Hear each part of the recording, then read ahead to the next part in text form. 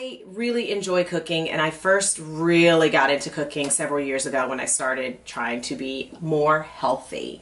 More healthy, more healthy. And at the time, I was losing weight. Yeah, I'm not gonna lie, not gonna lie. I was, um, I was doing Jenny Craig and I was also doing um, a show called Celebrity Fit Club, if any of you remember that. It was on VH1. And, you know, what I realized is that Jenny Craig was really great in that it helped me control my portions and I didn't really have to think about it because I was eating their prepackaged meals and their meals were delicious.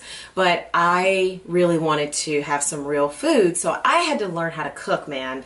Um, and it has actually become my second passion. Um, you know, right up there with singing. I love to sing and I love to cook, and they both are very therapeutic for me. Um, I, there's nothing more that I love than going in the kitchen and chopping up a bunch of vegetables and making a delicious soup or making dinner. And I could be in the kitchen for hours. You know, my fiance is like, I can make dinner in 30 minutes.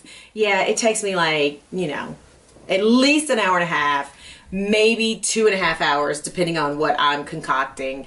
And I like recipes, um, not because I like to follow recipes, but because I like to take those recipes and see if I can turn them into something that fits you know what I want and take my own spin on it. And that's what I encourage everybody to do on my show with What's Cooking with Kimberley. It's not about following my recipe. It's about making it your own because after all, if you don't like it, you're not going to eat it. And if you're able to tweak it and make it your own and put some of your own um, flavors in there that you really love, then you're going to enjoy it even more and it'll be a dish that you come back to many, many times.